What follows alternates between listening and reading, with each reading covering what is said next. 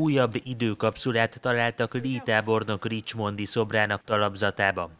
A dobozt 1887-ben helyezték el. Megtalálása nagy izgalmat keltett, mert a tudósok a korabeli híradások alapján abban bíztak, hogy tartalmaz egy fotót a koporsójában fekvő Abraham Lincoln elnökről. A fénykép azonban nem került elő. Még lehetőségünk sem volt megnézni ezeket a tárgyakat. Műtárgyként kezeljük, és hamarosan megvizsgáljuk majd őket.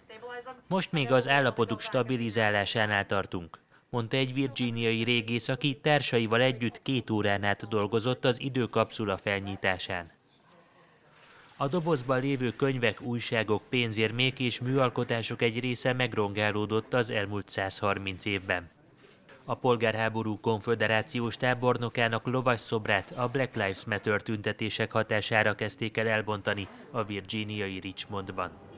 A talapzatban korábban már találtak egy időkapszulát, de az sem tartalmazta a Lincoln fotóját.